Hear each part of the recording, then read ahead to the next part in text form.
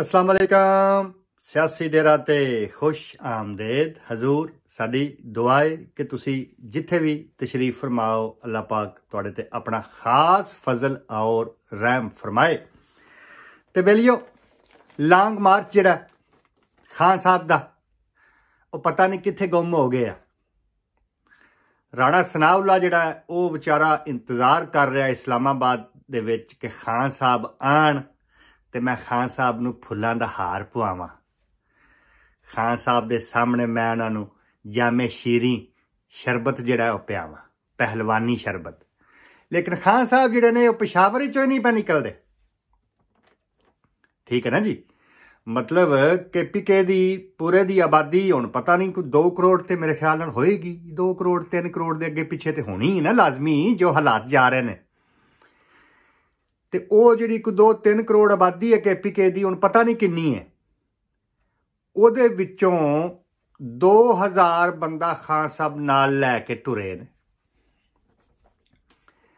ਔਰ ਮੈਂ ਬਾਰ-ਬਾਰ ਬਾਰ-ਬਾਰ ਤੁਹਾਨੂੰ ਪਿਛਲੇ 1 ਮਹੀਨੇ ਤੋਂ ਕਹਿ ਰਿਹਾ ਕਿ ਇਹਨੇ 2000 ਅਫਗਾਨੀ ਪਠਾਨ ਜਿਹੜਾ ਹੈ, ਉਹ ਕਿਰਾਏ ਤੇ ਲਏ ਆ। ਪਹਿਲੇ ਉਹੀ ਲੋਕ 15-20 ਬੱਸਾਂ ਤੇ ਇਹਦੇ ਜਲਸਿਆਂ ਤੇ ਜਾਂਦੇ ਰਹਿਣ। 1 ਲੱਖ ਰੁਪਈਆ ਫੀ ਬੰਦਾ ਇਹ ਮੁੱਕਾ ਹੈ ਉਹਨਾਂ ਦੇ ਨਾਲ ਠੇਕਾ। ਬਸ ਜਿੰਨੀ ਦੇਰ ਤੱਕ ਉਹਨੇ ਅਫਰਾ ਤਫਰੀ ਪਾਣੀ ਹੈ, ਉਹ ਬੰਦੇ ਇਹਦੇ ਨਾਲ ਰਹਿਣਗੇ, ਉਹ ਅਫਗਾਨੀ ਨੇ। ਸਪੈਸ਼ਲ ਇਸ ਕੰਮ ਵਾਸਤੇ ਬੁਲਾਏ ਗਏ ਨੇ। ਲੇਕਿਨ ਉਦੋਂ ਸਾਡੀ ਗੱਲ ਨਹੀਂ ਸੀ ਕੋਈ ਮੰਨਦਾ, ਲੇਕਿਨ ਹੁਣ ਸਾਰੇ ਹੀ ਕਹਿ ਰਹੇ ਨੇ ਜੀ ਇਹ ਉਹ ਨੇ।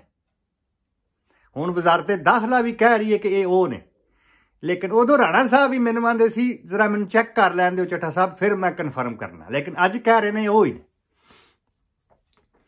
ਉਹ 2000 ਬੰਦਾ ਲੈ ਕੇ ਤੁਸੀਂ ਅੰਦਾਜ਼ਾ ਲਾ ਲਓ ਪਿਸ਼ਾਵਰ ਸ਼ਹਿਰ ਦੀ ਆਬਾਦੀ ਜਿਹੜੀ ਉਹ ਮੇਰੇ ਖਿਆਲ ਨਾਲ ਕੋਈ 10 12 ਲੱਖ ਤੇ ਲਾਜ਼ਮੀ ਹੋਣੀ ਹੈ ਨਾ। ਬਾਕੀ ਸਾਰੇ ਕੈਪੀਕੇ ਨੇ ਵੀ ਤੁਸੀਂ ਛੱਡ ਦਿਓ। 2000 ਉਹ ਕਿਰਾਏ ਦਾ ਪਠਾਨ ਜਿਹੜਾ ਅਫਗਾਨੀ, ਉਹਨੂੰ ਲੈ ਕੇ ਤੇ ਉੱਥੇ ਚੱਕਰੀਆਂ ਕੱਟੀ ਜਾ ਰਿਹਾ। ਠੀਕ ਹੈ ਨਾ? ਉਹਨਾਂ ਨੂੰ 1 ਲੱਖ ਰੁਪਈਆ ਫੀ ਬੰਦਾ ਨਿਪਟਿਆ ਉਹਨਾਂ ਨਾਲ ਪਿਛਲੇ 5 ਹਫ਼ਤਿਆਂ ਦਾ। ਤੇ ਅਗਾਂ ਵਧਣ ਦੀ ਹਿੰਮਤ ਨਹੀਂ ਹੋ ਰਹੀ। ਅੱਗੇ ਰਾਣਾ ਸਾਹਿਬ ਖਲੋਤੇ ਨੇ, ਫੁੱਲਾਂ ਦਾ ਹਾਰ ਲੈ ਕੇ। ਬੰਦਾ ਜਾਏ ਤੇ ਜਾਏ ਕਿੱਥੇ? ਕਹਿੰਦਾ, ਮੈਂ ਆਜ਼ਾਦੀ ਲੈਣੀ ਹੈ ਆਜ਼ਾਦੀ। ਆਜ਼ਾਦੀ ਭਾਈ, ਤੂੰ ਕਿਹਦੇ ਕੋਲੋਂ ਲੈਣੀ ਹੈ ਆਜ਼ਾਦੀ ਤੇ ਮੰਗਦੇ ਨੇ ਪੈ ਮਾਈ ਪੀਰਨੀ ਦੇ ਪੋਤਰੇ। ਮਾਈ ਪੀਰਨੀ ਦੇ ਪੋਤਰੇ ਜਿਹੜੇ ਨੇ, ਉਹ ਬਾਰ-ਬਾਰ ਇਸ ਗੱਲ ਦੀ ਦੁਹਾਈ ਦੇ ਰਹੇ ਨੇ ਬਸ ਸਾਨੂੰ ਆਜ਼ਾਦੀ ਨਹੀਂ ਚਾਹੀਦੀ। ਸਾਨੂੰ ਸਾਡੀ ਦਾਦੀ ਵਾਪਸ ਚਾਹੀਦੀ ਹੈ। ਭਾਈ ਜੀ, ਗੱਲ ਤੇ ਬੜਾ ਗੌਰ ਕਰਨਾ ਹੈ। ਯੂਥੀਆ ਜ਼ਰਾ ਅੱਗੇ ਅੱਗੇ ਆ ਜਾਏ ਤੇ ਪਟਵਾਰੀ ਔਰ ਜਿਆਲਾ ਪਿੱਛੇ ਬਹਿ ਕੇ ਚਾਹ ਔਰ ਬਿਸਕੁਟ ਔਰ ਅੰਬ ਔਰ ਲੱਸੀ ਜਿਹੜੀ ਹੈ ਉਹ ਇੰਜੋਏ ਕਰੋ। ਕਿਉਂਕਿ ਗੱਲ ਜਿਹੜੀ ਮੈਂ ਤੁਹਾਨੂੰ ਖਬਰ ਦੇਣੀ ਅੰਦਰ ਦੀ ਉਹਨੇ ਧੂੜਾਂ ਪੁੱਟਣੀਆਂ ਇਹ ਸਿਆਸੀ ਡਰ ਹੈ ਭਾਈ ਜੀ। ਇਹ ਕੋਈ ਸਾਬਰ ਸ਼ਾਕਰ ਨਹੀਂ ਇੱਥੇ ਬੈਠਾ। ਔਰ ਅਸੀਂ ਠੇਕਾ ਚੁੱਕੇ ਆ ਕਿ ਅਸੀਂ ਬੇਨਕਾਬ ਕਰਨਾ ਇਹ ਟੋਲਾ, ਕਿਉਂਕਿ ਰਿਆਸਤ ਦੇ ਖਿਲਾਫ ਠੀਕ ਹੈ ਨਾ ਭਾਈ ਜੀ? ਬਹੁਤ ਵੱਡੀ ਬ੍ਰੇਕਿੰਗ ਖਬਰ ਜਿਹੜੀ ਉਹ ਤੁਹਾਨੂੰ ਅਸੀਂ ਦੇ ਰਹੇ ਹਾਂ। ਬਿਲਕੁਲ ਅੰਦਰੋਂ ਸਾਡਾ ਜਿਹੜਾ ਸੋਰਸ ਨਾਲ ਬੈਠਾ ਸੀ ਔਰ ਉਹਨੇ ਆਪਣੀ ਹੱਥੀਂ ਇਹ ਸਾਰਾ ਕੁਝ ਵੇਖਿਆ। ਔਰ ਸਾਰਾ ਕੁਝ ਫਿਰ ਛਡਾਇਆ ਵੀ ਹੈ ਔਰ ਫਿਰ ਸੁਲਾ ਸਫ਼ਾਈ ਕਰਾਉਣ ਦੀ ਵੀ ਕੋਸ਼ਿਸ਼ ਕੀਤੀ ਹੈ ਲੇਕਿਨ ਸੁਲਾ ਨਹੀਂ ਹੋ ਸਕੀ। ਹਾਲਾਤ ਇਸ ਹੱਦ ਤੱਕ ਚਲੇ ਗਏ। ਗੇਮ ਬੜੀ ਓਵਰ ਹੋ ਚੁੱਕੀ ਹੈ ਉਹ ਕਿਉਂ? ਇਹਦੇ ਚ ਸਿਆਸੀ ਡੇਰਾ ਦਾ ਵੀ ਤੇ ਹੱਥ ਹੈ ਨਾ। ਅਗਰ ਅੱਜ ਅਗਰ ਅੱਜ ਇਹ ਫਿਤਨਾ ਜਿਹੜਾ ਇਹ ਖਤਮ ਹੋ ਰਿਹਾ ਤੇ ਇਹਦੇ ਚ ਸਾਡਾ ਵੀ ਤੇ ਹੱਥ ਹੈ ਨਾ ਬਾਈ ਜੀ। ਅਸੀਂ ਐਵੇਂ ਤਾਂ ਨਹੀਂ ਨਾ ਮਤਲਬ ਆਪਣਾ ਵਕਤ ਜ਼ਾਇਆ ਕੀਤਾ।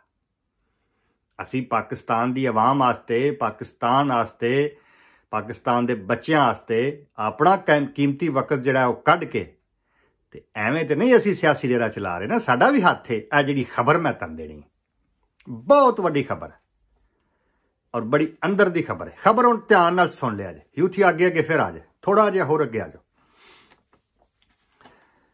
ਅੱਜ ਸਵੇਰੇ, ਯਾਨੀ ਦੁਪਹਿਰ ਇਹਨੇ 3 ਵਜੇ ਮਿਲਣਾ ਸੀ ਕਾਦੌੜਿਆਂ ਨੂੰ ਕਸ਼ਮੀਰ ਹਾਈਵੇ ਤੇ। ਜ਼ਰਾ ਤੁਸੀਂ ਅੰਦਾਜ਼ਾ ਲਾ ਲਓ। 3 ਵਜੇ ਦੁਪਹਿਰੇ ਨੇ ਮਿਲਣਾ ਸੀ ਉਹਨਾਂ ਨੂੰ ਉੱਥੇ। ਤੇ 3 ਵਜੇ ਤੱਕ ਪਸ਼ਾਵਰ ਤੋਂ ਨਹੀਂ ਨਿਕਲਿਆ। ਧਿਆਨ ਕਰ, ਧਿਆਨ। ਹੁੰਦਾ ਇੰਜੇ ਕਿ ਹੁਣ ਬੰਦੇ ਇਕੱਠੇ ਨਹੀਂ ਸੀ ਪਾਉਂਦੇ ਉਹੀ 2000 ਬੰਦਾ ਜਿਹੜਾ ਲੈ ਕੇ ਇਹ ਪੂਰੇ ਪਾਕਿਸਤਾਨ ਵਿੱਚ ਘੁੰਮਿਆ ਤੇ ਉਹੀ ਉਹ ਬੱਸਾਂ। ਕੋਈ ਐਮਪੀਏ ਕੋਈ ਐਮਐਨਏ ਜਿਹੜਾ ਕੇਪੀਕੇ ਦੇ ਵਿੱਚੋਂ ਹੈ ਕੋਈ ਇੱਕ ਬੰਦਾ ਵੀ ਨਾ ਨਿਕਲਿਆ ਤੇ ਉਹ ਖੁਦ ਵੀ ਨਹੀਂ ਨਿਕਲੇ।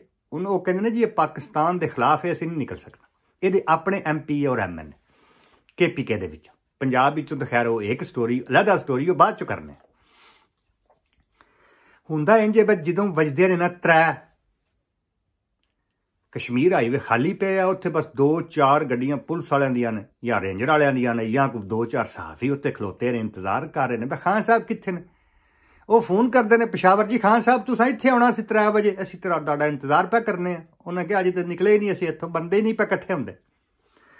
ਉਹ ਜਦੋਂ 3 ਵਜਦੇ ਨੇ ਨਾ, ਤੇ ਸ਼ਾਹ ਮਹਮੂਦ ਕੁਰੇਸ਼ੀ ਵੰਦਾ ਘੜੀ ਵੱਲੋਂ ਤੋਂ ਕਹਿੰਦਾ, ਖਾਨ ਸਾਹਿਬ 3 ਵਜ ਗਏ ਨੇ, ਅਸੀਂ ਇਸ ਟਾਈਮ ਤੇ ਕਸ਼ਮੀਰ ਹਾਈਵੇ ਤੇ ਉੱਤੇ ਆਪਣੇ ਕਾਰਕੁਨਾਂ ਦੇ ਨਾਲ ਹੋਣਾ ਸੀ।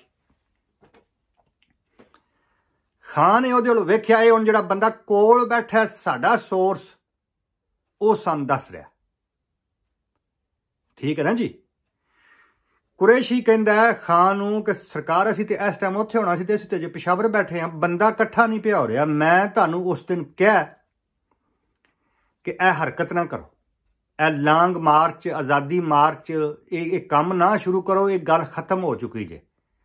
ਬੇੜਾ ਆਪਣਾ ਤੁਸੀਂ ਗਰਕ ਕਰਨਾ ਹੈ ਤੇ ਕਰ ਲਓ, ਲੇਕਿਨ ਗੇਮ ਤੁਹਾਡੀ ਖਤਮ ਆ। ਮੈਨੂੰ ਏਜੰਸੀਆਂ ਨੇ ਕਹਿ ਦਿੱਤਾ ਬਈ ਇਹਦਾ ਪੱਤਾ ਸਾਫ਼ ਹੋ ਚੁੱਕਿਆ ਪਾਕਿਸਤਾਨੀ ਸਿਆਸਤ ਵਿੱਚ ਔਰ ਮੈਂ ਤੁਹਾਨੂੰ ਉਸ ਦਿਨ ਪ੍ਰੈਸ ਕਾਨਫਰੰਸ ਦੇ ਵਿੱਚ ਵੀ ਕਹਿੰਦਾ ਰਿਹਾ ਕਿ ਐਲਾਨ ਨਾ ਕਰੋ ਨਿਰਾ ਡਰਾ ਕੇ ਰੱਖੋ, ਡਰਾ ਕੇ।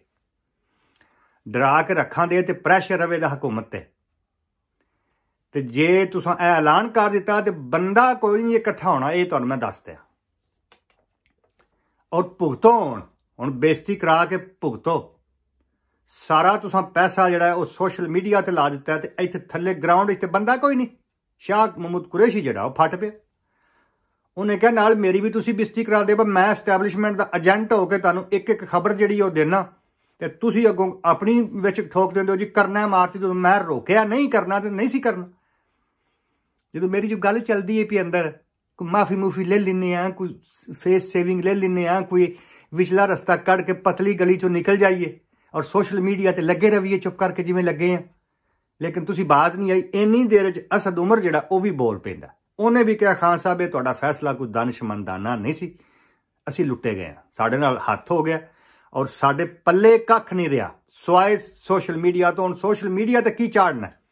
ਅੱਗੇ ਅਸੀਂ ਪੁਰਾਣੀਆਂ ਵੀਡੀਓ ਚਾੜ ਚਾੜ ਕੇ, ਚਾੜ ਚਾੜ ਕੇ ਸਾਡਾ ਕੱਖ ਨਹੀਂ ਰਿਹਾ ਪਿਛਲੇ 24 ਘੰਟਿਆਂ ਤੋਂ। ਪੁਰਾਣੀਆਂ ਅਸੀਂ ਵੀਡੀਓ ਚਾੜ ਚਾੜ ਕੇ ਤੇ ਇਹ ਸਾਡੇ ਕੋਲ ਤਾਂ ਮਵਾਦ ਹੀ ਕੋਣੀ ਜਾਈਏ ਤੇ ਜਾਈਏ ਕਿੱਥੇ? ਇੱਥੋਂ ਫਿਰ ਉਹਨਾਂ ਦੀ ਹੁੰਦੀ ਹੈ ਲੜਾਈ। ਇਮਰਾਨ ਖਾਨ ਨੇ ਕੁਰੇਸ਼ੀ ਦਾ ਫੜਿਆ ਗਲਮਾ। ਚਸ਼ਮਦੀਦ ਗਵਾ ਉੱਤੇ ਬੈਠਾ। ਗਲਮਾ ਫੜ ਕੇ ਤੇ ਉਹਨੇ ਕਿਹਾ ਕਿ ਤੂੰ ਥੱਲੇ ਲੈ ਜਾ ਕੰਟੇਨਰ ਤੋਂ ਤੇ ਨਿਕਲ ਜਾ ਇੱਥੋਂ ਮਲਤਾਨ ਤੋਂ। ਕਿਉਂਕਿ ਉਹਨੇ ਚਿੱਟਾ ਚਾੜਿਆ ਸੀ। ਉਹਨੇ ਉਹਨੂੰ ਕਿਹਾ, ਬਈ ਤੂੰ ਥੱਲੇ ਲੈ। ਪਾਰਟੀ ਮੇਰੀ ਹੈ ਕੁਰੇਸ਼ੀ ਆਂਦਾ, ਬਈ ਤੇਰਾ ਤੇ ਨਾਂ ਲਈਏ ਤੇ ਹੁਣ ਲੋਕੀ ਅੱਗੋਂ ਪੱਥਰ ਮਾਰਦੇ ਨੇ। ਤੂੰ ਜੋ ਹਾਲਾਤ ਕੀਤੇ ਆ ਪਾਕਿਸਤਾਨ ਦੇ। ਇਹ ਪਾਰਟੀ ਹੁਣ ਮੇਰੀ ਹੈ ਵਾਦਾ ਮੇਰੇ ਨਾਲ ਐਸਟੈਬਲਿਸ਼ਮੈਂਟ ਕੀਤਾ ਸੀ ਬਈ ਇਹਨੂੰ ਜਦੋਂ ਹਟਾਵਾਂਗੇ, ਤੂੰ ਬਣੇਗਾ ਚੇਅਰਮੈਨ ਪਾਰਟੀ ਦਾ, ਪਾਰਟੀ ਤੇਰੀ ਹੋਏਗੀ। ਉੱਥੇ ਇਹਨਾਂ ਨੇ ਗਲਮੋਂ ਗਲਮੀ ਇੱਕ ਦੂਜੇ ਦੇ ਹੋਏ ਨੇ, ਬਟਨ ਵੀ ਟੁੱਟੇ ਨੇ, ਇੱਕ ਦੂਜੇ ਨੂੰ ਦੋ ਚਾਰ ਚਾਰ ਛਿਕੀਆਂ ਵੀ ਨੇ ਇਹਨੇ, ਅਸਦ ਉਮਰ ਵਿੱਚ ਪਿਆ ਉਹਨੇ ਵੀ ਫਿਰ ਦੋ ਚਾਰ ਹੂਰੇ ਛੱਡੇ ਨੇ ਕਪਤਾਨ ਨੂੰ ਪਰ ਤੂੰ ਸਾਨੂੰ ਵੀ ਨਾਲ ਜ਼ਲੀਲ ਕਰਾ ਦਿੱਤਾ ਕਰਮ ਵਾਲੇ ਨਾ ਬੰਦਾ, ਨਾ ਬੰਦੇ ਦੀ ਜ਼ਾਤ 3-4 ਕਰੋੜ ਦੀ ਆਬਾਦੀ ਕੇਪੀਕੇ ਦੇ ਵਿੱਚੋਂ ਇਹੋ ਹੀ 2000 ਪਠਾਨ ਅਫਗਾਨੀ ਜਿਹੜਾ ਕਿਰਾਏ ਤੇ ਲੈ ਆ, ਤੂੰ ਇਹ ਹੀ ਨਾਲ। ਔਰ ਇਹ ਸਾਰੇ ਜਰਾਇਮ ਪੇਸ਼ਾ ਨੇ ਸਾਡੀ ਤੂੰ ਸਾਰੀ ਇੱਜ਼ਤ ਜਿਹੜੀ ਹੈ, ਰੋਲ ਦਿੱਤੀ ਹੈ। ਤੈਨੂੰ ਕਿਹਾ ਸੀ ਬਈ, ਇਹ ਤੂੰ ਕਿਹੜਾ ਆਜ਼ਾਦੀ ਮਾਰਚ, ਕਿਹਦੇ ਕੋਲੋਂ ਆਜ਼ਾਦੀ ਮਾਰਚ ਲੈਣਾ ਬਈ, ਤੂੰ ਫੌਜ ਦੇ ਖਿਲਾਫ ਇਹ ਸਾਰਾ ਧੰਦਾ ਸ਼ੁਰੂ ਕੀਤਾ ਆਪਣੀ ਆਪਣੀ ਤਸਕੀਨ ਵਾਸਤੇ। ਔਰ ਬਾਹਰੋਂ ਕਾਦਿਓੜਿਆਂ ਕੋਲੋਂ ਪੈਸੇ ਖਾਣ ਵਾਸਤੇ। ਸਾਡੇ ਪੱਲੇ ਤੇ ਕੱਖ ਨਹੀਂ ਰਿਹਾ। ਉਹ ਜਨਾਬ ਤਰਾਵੇ ਫਿਰ ਲੜੇ ਨੇ, ਇਹ ਦੋਵੇਂ ਕੁਰੇਸ਼ੀ ਔਰ ਅਸਦ ਉਮਰ ਜਿਹੜੇ ਨੇ, ਇਹਨਾਂ ਫਿਰ ਹੂਰੇ ਵੀ ਮਾਰੇ ਨੇ ਨਿਆਜ਼ੀ ਨੂੰ। ਚਸ਼ਮਦੀਦ ਗਵਾਹ ਕਹਿ ਰਿਹਾ, ਅਗਰ ਸਾਡੀ ਖਬਰ ਗਲਤ ਹੋਏ, ਅਸੀਂ ਜ਼ਿੰਮੇਦਾਰ ਆ ਇਹ ਮੈਂ ਤੁਹਾਨੂੰ ਦੱਸਦੇ ਆ ਸਿਆਸੀ ਡੇਰਾ ਦਾ ਹਮੇਸ਼ਾ ਖਾਸਾ ਇਹ ਫਿਰ ਲੜੇ ਨੇ। ਲੜਨ ਤੋਂ ਬਾਅਦ ਇਹਨਾਂ ਇੱਕ ਦੂਜੇ ਦੇ ਗਲਮੇ ਵੀ ਪਾੜੇ ਨੇ, ਗਾਲਮ ਗਲੋਚ ਵੀ ਕੀਤੀ ਏ, ਔਰ ਫਿਰ ਇਹ ਉਹਨੂੰ ਕਹਿੰਦੇ ਨੇ, ਬਈ ਤੂੰ ਲਓ ਕੰਟੇਨਰ ਤੋਂ। ਤੂੰ ਸਾਨੂੰ ਬਰਬਾਦ ਕੀਤਾ, ਤੂੰ ਪਾਰਟੀ ਤਬਾਹ ਕਰ ਰਿਹਾ ਨਿਆਜ਼ੀ। ਤੂੰ ਲਓ। ਉਹ ਫਿਰ ਕੁਰੇਸ਼ੀ ਨੇ ਕਿਹਾ ਬਈ ਤੂੰ ਆਂਦਾ ਸਾਂ 20 ਲੱਖ ਬੰਦਾ। ਇਹ ਬੰਦਾ ਸਾਰਾ 3000 ਤੇ ਗੱਲ ਫਿਰ ਉਹ ਠੀਕ ਹੋ ਗਈ ਨਾ ਬਾ ਮਾਲ ਰੋਡ ਤੇ ਪਠਾਨ ਜਿਹੜਾ ਕਲੀਨ ਵੇਚਦਾ ਪਿਆ। ਆਵਾਜ਼ ਲਾਈ ਜਾ ਰਿਹਾ ਸਾਰਾ ਹਫਤਾ 20 ਲੱਖ ਦਾ ਕਲੀਨ 20 ਲੱਖ ਦਾ ਕਲੀਨ 20 ਲੱਖ ਦਾ ਕਲੀਨ। ਤੇ ਤੀਜੇ ਦਿਨ ਉਹ ਜਿਹੜਾ ਕੰਬਲ ਹੈ, ਕਲੀਨ ਜਿਹੜਾ, ਉਹ ਵੇਚ ਕੇ ਤੁਰ ਜਾਂਦਾ 3000 ਰੁਪਏ ਦਾ। ਤੇ ਤੂੰ ਸਾਡੇ ਨਾਲ ਇਹ ਕੀਤੀ। ਤੂੰ ਡੇਢ ਮਹੀਨੇ ਤੋਂ ਕਹਿ ਰਿਹਾ 20 ਲੱਖ ਬੰਦਾ ਮੈਂ ਲੈ ਕੇ ਆਣਾ ਤੇ ਕਿੱਥੇ ਹੀ 20 ਲੱਖ? ਇਹ ਬੰਦਾ ਤਾਂ ਨਹੀਂ 2500 ਵੀ। ਤੇ ਤੂੰ ਪਾਰਟੀ ਵੀ ਤਬਾਹ ਕਰ ਦਿੱਤੀ ਆਪਣੀ ਤਸਕੀਨ ਵਾਸਤੇ। ਚਿੱਟਾ ਤੂੰ ਚੜਿਆ ਹੁੰਦਾ ਦੋ ਚਾਰ ਤੂੰ ਛੜਪਾਂਗੇ ਨਾਲ ਰੱਖੇ ਹੁੰਦੇ ਨੇ। ਤੇ ਇਹ ਸਾਡੀ ਤੂੰ ਪਾਰਟੀ ਵੀ ਤਬਾਹ ਕਰ ਦਿੱਤੀ ਹੈ, ਵਕਤ ਵੀ ਜ਼ਾਇਆ ਕਰ ਦਿੱਤਾ ਹੈ ਔਰ ਸਾਡੀ ਇੱਜ਼ਤ ਦਾ ਜਨਾਜ਼ਾ ਵੀ ਤੂੰ ਜਿਹੜਾ ਹੈ ਕੱਢ ਛੜਿਆ ਨਿਆਜ਼ੀ।